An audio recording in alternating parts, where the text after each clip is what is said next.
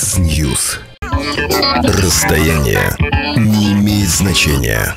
Мне где-то еще минут семь надо для того, чтобы добраться до дома. Радио не мешают границы. Те преобразования позитивные, экономический рост, улучшение уровня жизни. Все происходило во время моего премьерства. Самые откровенные мысли. Если я добрый человек, предположим, это другим судить, то от того, что я говорю, что у меня нет души в религиозном смысле, я не перестаю быть добрым. Только на радио Болтком. Программа «Абонент доступен». Участие слушателей обязательно. Добрый день, уважаемые радиослушатели. Это программа «Абонент доступен». В студии работает Анна Смирнова. Меня зовут Вадим Родионов и звукорежиссер Родион Золотарев. А сегодня с нами на прямой связи глава администрации президента России Бориса Ельцина в 1993-96 годах, руководитель штаба обороны Белого дома во время ГК ЧП, это 91 год, Сергей Филатов. Сергей Александрович, здравствуйте. Добрый день.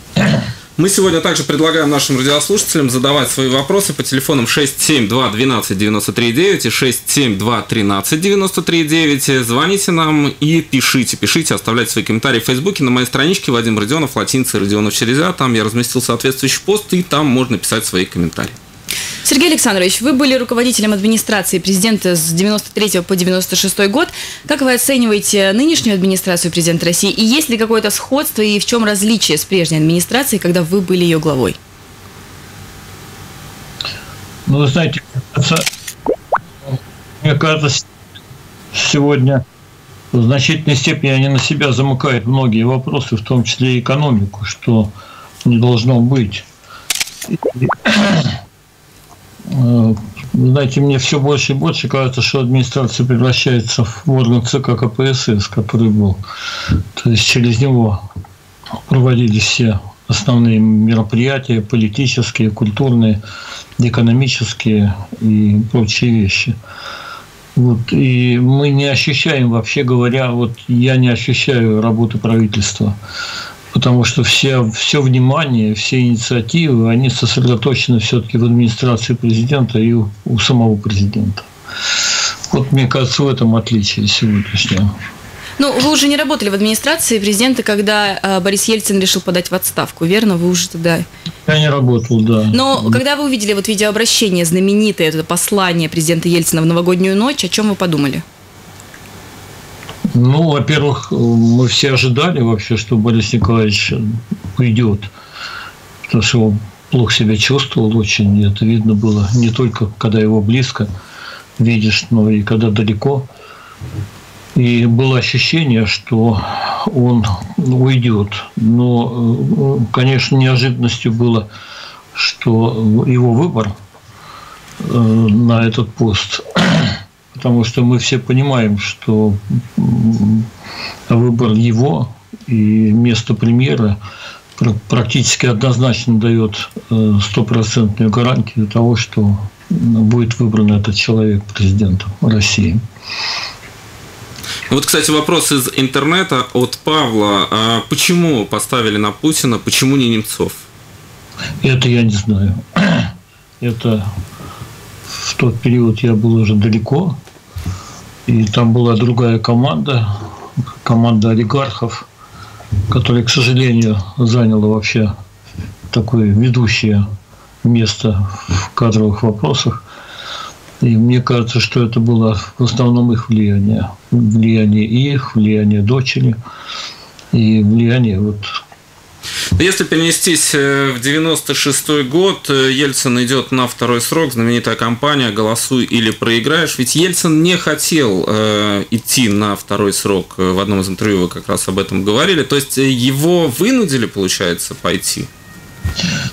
Ну, я думаю, что не столько вынудил, его обстоятельства вынудили, потому что он э, начал понимать, что если он уходит, замены нет со стороны демократов и э,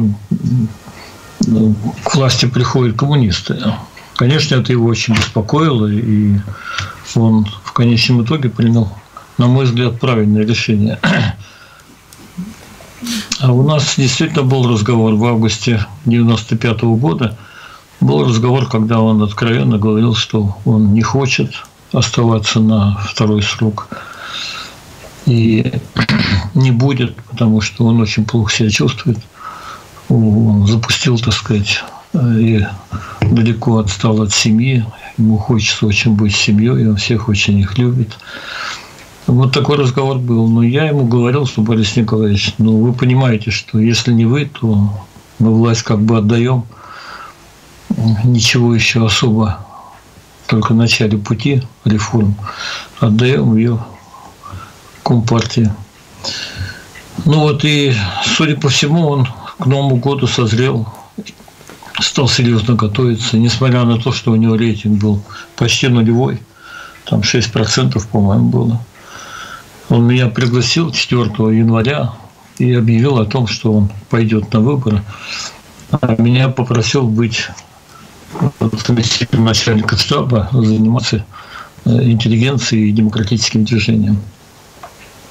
Ну вот как раз э, про этот период сейчас многие представители либеральной общественности говорят о том, что если бы в 96 году победили коммунисты, то, возможно, страна бы пошла в другом направлении, в том смысле, что э, не появился бы Владимир Путин, и э, преемственность власти, и все вопросы, связанные, в общем, с тем, что власть должна меняться, они остались бы. Просто коммунисты свои там 4 или 8 лет бы провели в Кремле, и затем бы процесс развивался уже в такой демократической плоскости. Вот не считаете, что тогда, в 96 году, году была допущена ошибка, когда Ельцин, э, в общем, все вот так активно агитировали и так далее. Это трудно вообще гадать э, на кофейной гуще.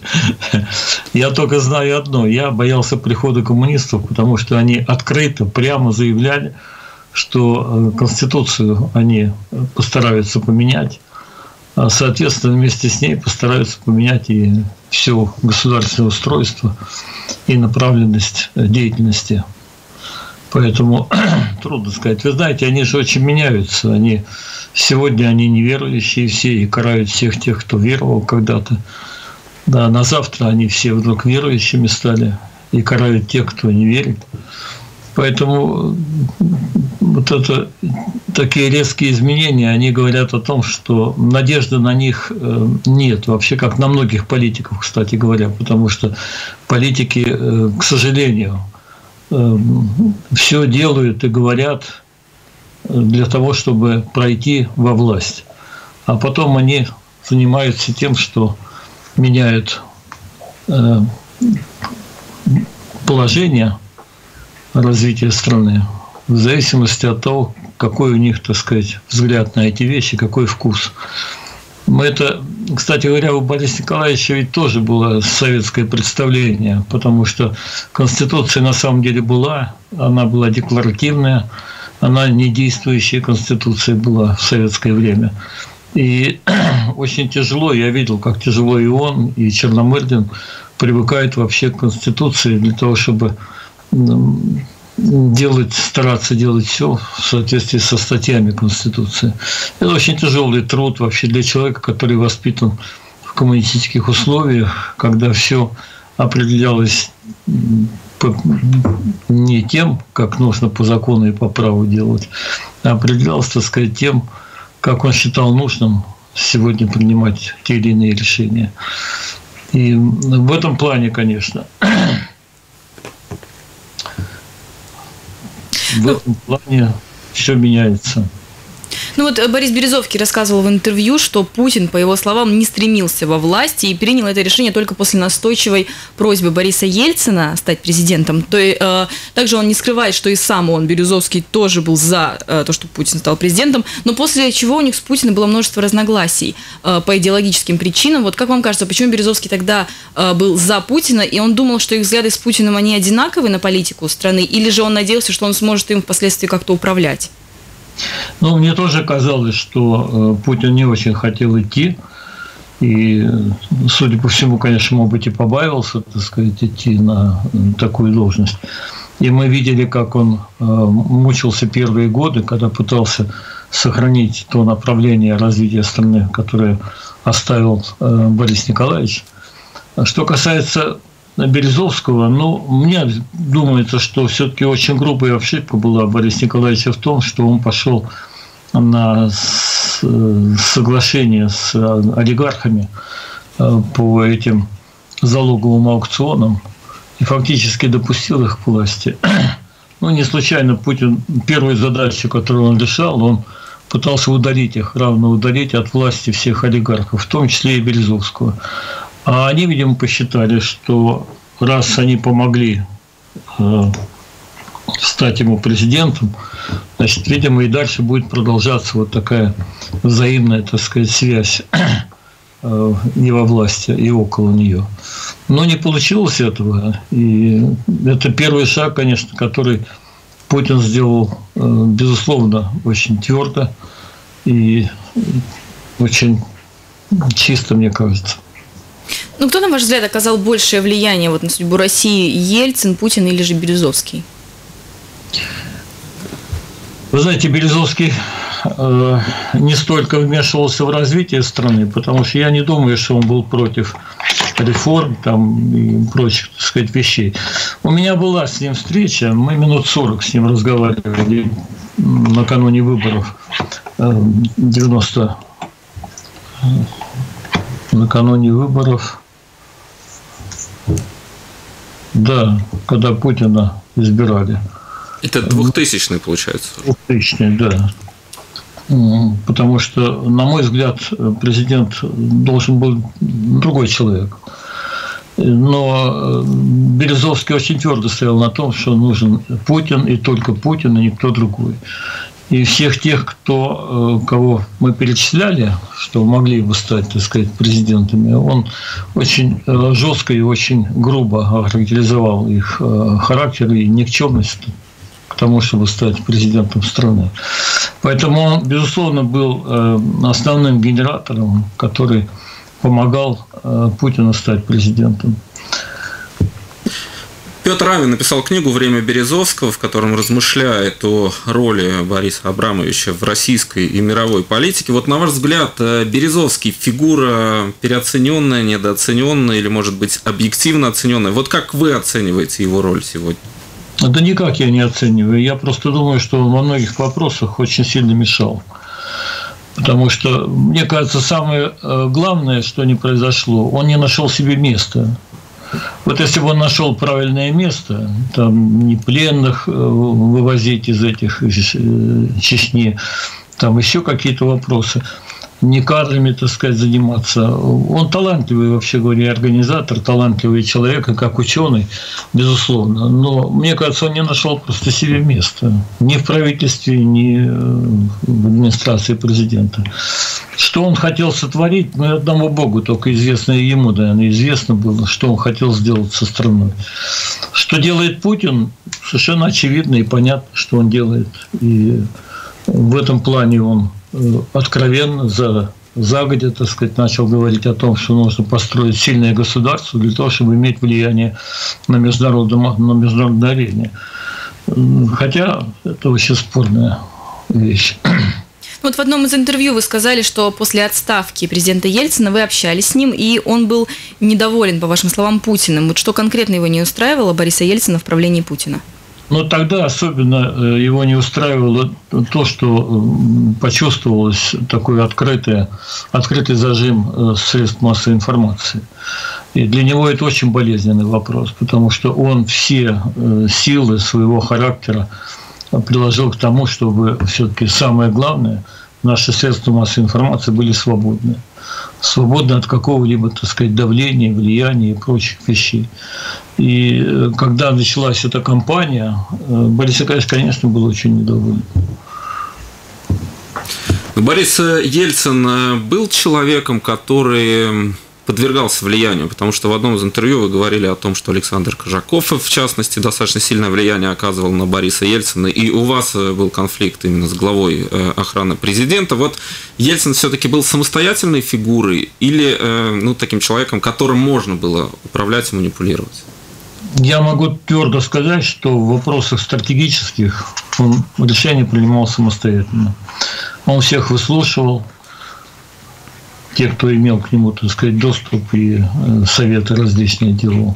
Он очень много советовался с президентским советом, хотя неуютно себя чувствовал, потому что там э, на президентском совете часто был нелицеприятный разговор с членами президентского совета. И в этом плане, конечно, э, он выслушивал всех, но решение принимал сам. Конечно, они, наверное, были под влиянием кого-то, под влиянием из тех, кто э, наиболее, так сказать, убедительно выступал, приводил какие-то доводы. Но мне кажется, это вообще нормальное э, явление, нормальная ситуация, когда президент советуется, когда он собирает различные мнения, тем более они идут из различных городов, из различных структур, от различных людей. Вот. Но в совокупности решение было всегда за ним. Ну вот также вы в интервью говорили, э, что президент Ельцин был довольно категоричен, и часто получив какой-то компромат на кого-то из своих подчиненных, он мог жестко даже поступить, и, может быть, даже лично не э, разбираться, так как очень доверял своей службе безопасности. Вот как часто на вашей памяти людям незаслуженно пришлось нести какое-то наказание, и, насколько я поняла, вас тоже даже пытались скомпрометировать? Ну, э, я могу сказать, я перед этим сказал, стратегические вопросы он решал самостоятельно, но вот эти тактические вещи, жизненные, конечно, он подвергался некому влиянию и иногда ну, неприятные решения принимал. Мне звонили очень многие из тех, кого он снимал, освобождал, потому что освобождение иногда происходило прямо на дороге, когда человек ехал в машине, ему сообщали, что он снят. И он звонил с недоумением, как, почему, что, что произошло. Бывали так, но Борис Николаевич был очень нетерпим к некоторым вопросам. Понимаете, он э, был очень нетерпим, когда ему говорили там, о воровстве, например, там кого-то, когда говорили о нечистоплотности кого-то. Вот эти моральные признаки, ну, он не сдерживал себя и буквально принимал очень крутые меры, чтобы от этого человека избавиться во власти. Да, такие вещи были. И я знаю, что меня последний год э, пытались скомпрометировать то какой-нибудь статьей в газете, то провокацию устроили с моей дочкой, потом публиковали в газете для того, Это чтобы показать... да, которая была прапорщиком ФСБ, ФСО, по-моему, да, она была, которая пыталась вас скомпрометировать? Ну, в этом Литвин, Литвиненко принимал участие. Литвиненко принимал участие. Но эта история чем закончилась? То есть в ней разобрались? Мое счастье, конечно. Я очень благодарен Борису Николаевичу, что он отметал всякие э, такие наветы по отношению ко мне и не верил им. Но, тем не менее, в общем, постепенно, постепенно кольцо стали сжимать эти ребята.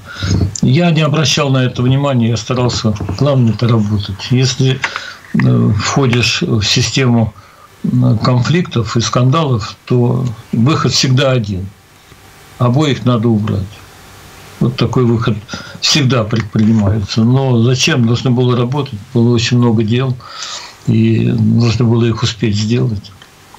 Вот в одном из интервью вы говорили о том, что война в Чечне э, надломила Бориса Ельцина. Вот э, как принималось решение ввести войска и почему, собственно, это было сделано? Решение принималось на Совете Безопасности. Уже по этому поводу э, даже фильм сделан был, его показывали на телевидении.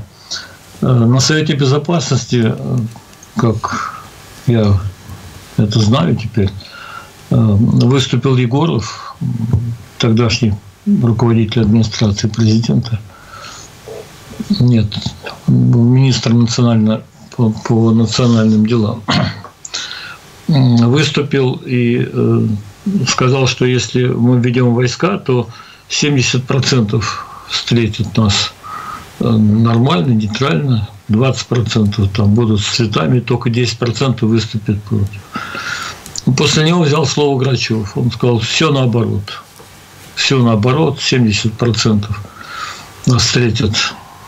Если нейтрально, то 20 будут категорическими там, противниками или 70. В общем, когда он это сказал, Черномырдин начал э, на него повышать голос. Ты, ты не министр, ты боишься всего и так далее. Надо его снять, говорит Борис Николаевич.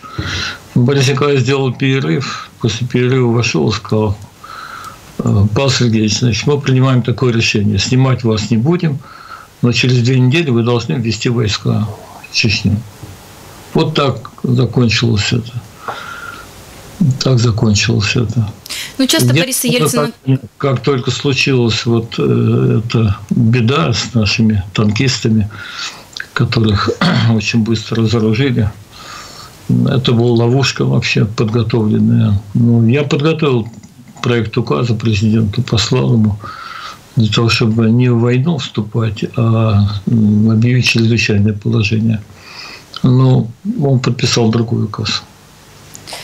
Ну, часто президента Ельцина критикуют за чеченскую войну. Вот вы считаете правильным решение начать войну в Чечне? Ну, к этому шло на самом деле вообще. Но э, мне кажется, вот всегда можно избежать военных действий, если где-то наступить иногда себе там на горло, да, и попробовать э, разрешить эту проблему иначе. Но, тем не менее, он же с Украиной сумел каким-то образом договариваться и с э, президентами, которые там менялись постоянно и по-всякому. И не случайно послал туда Черномырдина, так сказать, для того, чтобы... Так и здесь надо было, конечно, выбирать уровень контактов с Дудаевым и пробовать, пробовать, надо было пробовать, чтобы Э, избежать войны, временные какие-то дать дополнительные полномочия этой республике. Ну, много было вариантов. Но слишком много было людей, которые считали, что надо силой погасить это все. Мы же все вышли из Советского Союза, где менталитет весь наш состоял в том, что мы сильнее всех, мы э, задаем любого. Вот и задавили задавили в Тбилиси, задавили в Латвии, в Литве, задавили в других республиках. Вот пытались задавить и здесь. Ничего не получилось. Вот когда начиналась чеченская война, вы были главой администрации. Вот э, каким вы запомнили этот период, что вы переживали в тот момент, когда развивались события, и уже стало понятно, что не будет маленькой победоносной войны, это будет тяжелая и кровавая драма для России. Вот какие чувства у вас были тогда? Но я переживал все неудачи. Очень сильно переживал. Потому что неудачи все говорили о том, что мы абсолютно не готовы к военным действиям. Никак. И это показывало не только слабость, так сказать, нашу, но показывало и то, что мы дали очень сильный крен в нашем развитии. Мы как бы забросили на второй, на третий план э, наши силовые структуры и занимались в основном экономикой. С точки зрения развития страны, наверное, это было правильно. И временное такое э, ухудшение положения нашей обороны надо было максимально использовать для того, чтобы не ввязываться ни в какие военные действия. Стратегия была здесь неправильная. Ну вот в интервью вы сказали, что Борис Ельцин не был злопамятным человеком и многим прощал ошибки, но вот за исключением Михаила Горбачева. Вот его он так и не смог простить? К сожалению, да. К сожалению. И здесь есть причины, конечно, о которых мне не хочется говорить. Вот, но мне кажется, это тоже внесло свою лепту и в развал Советского Союза и во взаимоотношения, которые были у нас с Советским Союзом. Они были очень тяжелые, потому что два законодательных органа в одном государстве ужиться не могут, если нет распределения полномочий. И, к сожалению, с этого у нас началось.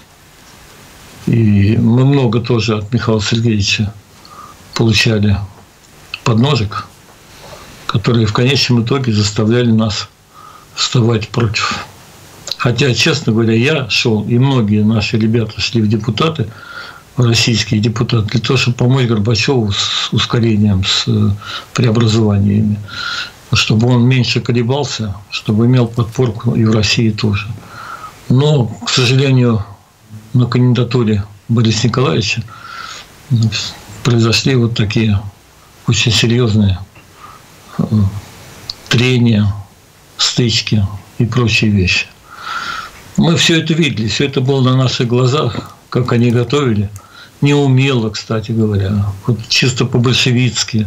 Опять-таки с помощью каких-то грязных приемов, как они пытались не допустить Бориса Николаевича к власти. Хотя народ уже был не только готов, народ ждал этой власти, потому что он себя хорошо проявил, будучи секретарем МГК КПСС.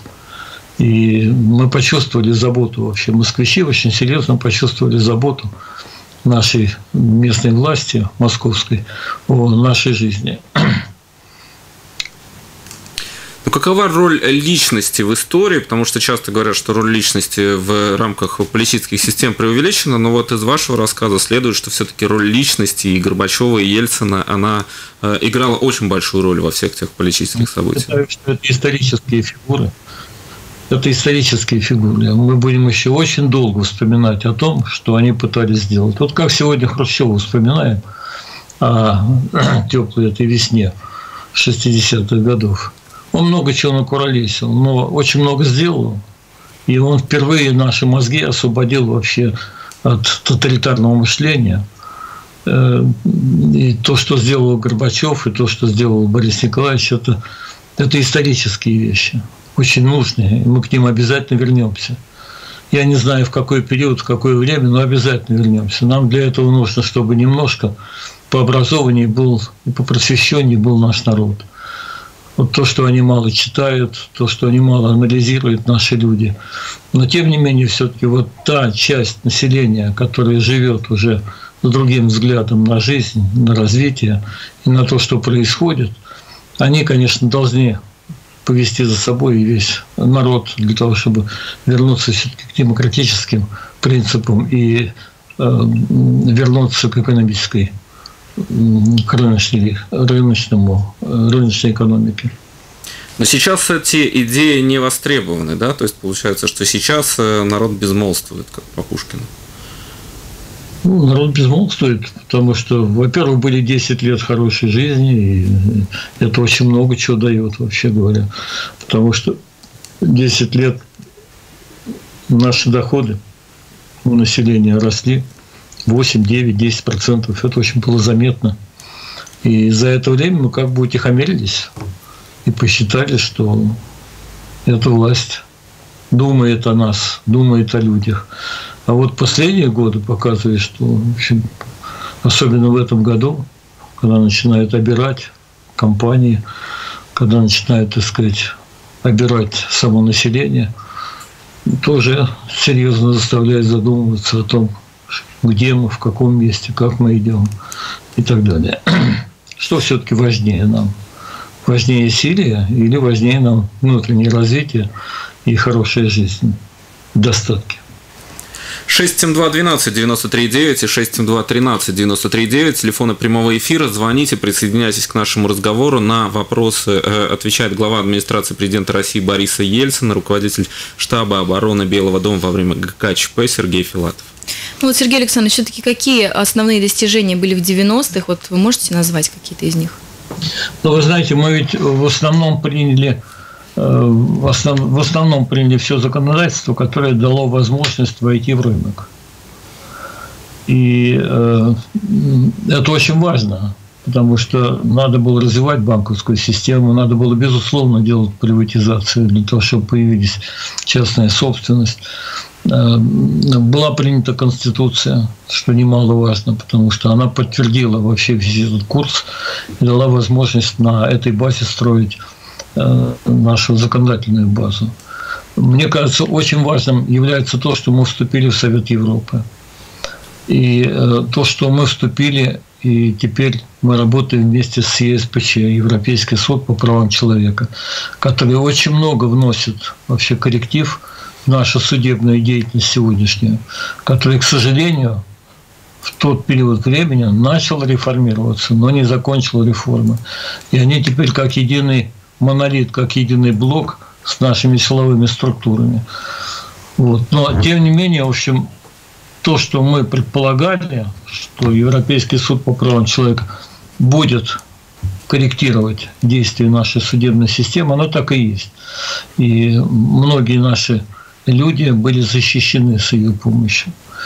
Но э, начали мы реформировать тогда с, э, нашу не только судебные, но это наши были обязательства. Я ведь тогда помню наши разговоры с э, комиссией Европейского нашего парламента, когда они тоже говорили о том, что нам надо вступить в Европейскую парламентскую ассамблею. И мы сошлись на том, что по формальным признакам мы не можем быть в этом парламенте. Но если мы дадим обязательства, а обязательства были из 20 пунктов, которые подписал Борис Николаевич, подписал Черномырдин, подписал Шумейко и Рыбкин, наши руководители палат законодательных, законодательного собрания. Вот. Я их отвез в 95 году. Э, было еще требование, чтобы кончилась война в Чечне. Но мы сделали серьезный перерыв в тот период времени. И мы оказались э, в Европарламенте, Европейский парламент. Мне кажется, это тоже очень большое достижение, потому что там-то, ну, это вот печально кончилось, но на самом деле там с помощью этого парламента были внесены некоторые коррективы и в нашу деятельность, наше законодательного собрания. Ну что, многопартийная система была внедрена, но, к сожалению, вот этот переход к авторитарной системе, он, он много чего изменил, в том числе, так сказать, изменил, к сожалению, выборную систему нашу, которая каждый год проявляется недовольство в нашей прессе, в средствах массовой информации. У нас есть звонок от радиослушателя, давайте его выслушаем. Здравствуйте, как вас зовут? Алло, добрый день, Алина. Да, слушаю вас. А, вообще, конечно, странно было бы от господина Филатова услышать что-либо другое. А, вы знаете, что мне хотелось бы попросить?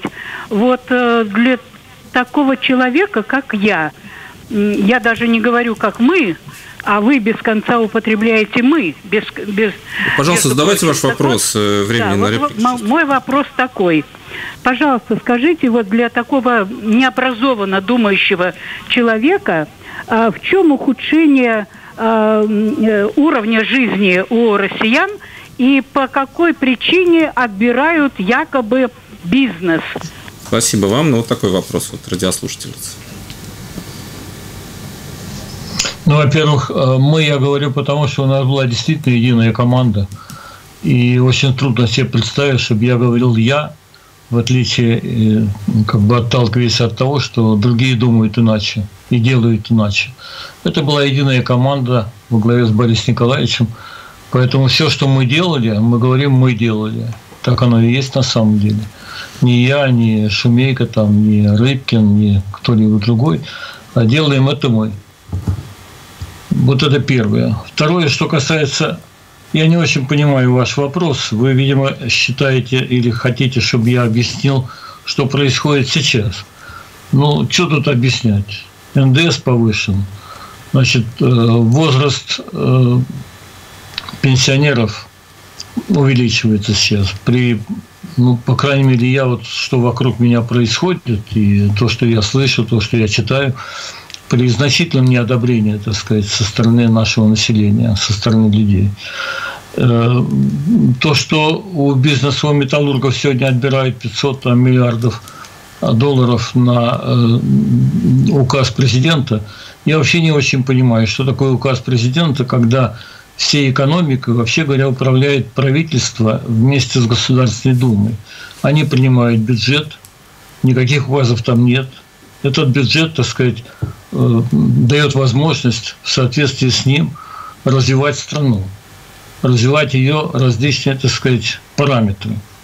И если э, в это вмешивается еще указ президента, который параллельно делает какое-то свое направление развития, значит, он должен быть, безусловно, на мой взгляд, должен быть внесен прежде всего в бюджет страны.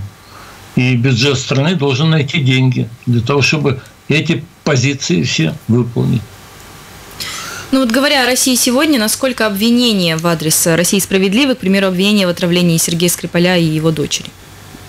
Это я не знаю, это суд должен решить. Это суд должен решить. То, что, то, что к сожалению, уже не, не один случай, это та э, различные, так сказать, случаи, в которых Россию обвиняют в том или ином, третьем, пятом, десятом, это можно двояко рассматривать. Можно, конечно, рассматривать, что это искусственные нападки для того, чтобы дискредитировать, так сказать, Путина как президента прежде всего. Но можно рассматривать с той стороны, что идет атака и с нашей стороны, для того, чтобы дискредитировать и, и западные какие-то элементы. Но на самом деле я сторонник того, чтобы эти вещи всегда проходили только через суд.